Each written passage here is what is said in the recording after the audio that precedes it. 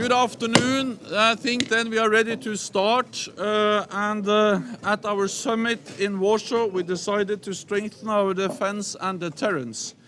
A year later, we have fully implemented our uh, increased presence uh, uh, in the Baltics, Poland, and uh, the Black Sea region. NATO is also stepping up in the fight against terrorism to ensure our plans are implemented swiftly and efficiently. I have appointed uh, my Deputy Secretary General, Rose Gottemoeller, to coordinate our counter-terrorism efforts. Uh, in this session, we will take stock of our progress uh, on land, uh, at sea, in the air, and in cyberspace. And we will discuss our plans for the future. This ends the public part of this uh, meeting. I thank the media for your great interest uh, in this great opening remarks. and then, and then we continue.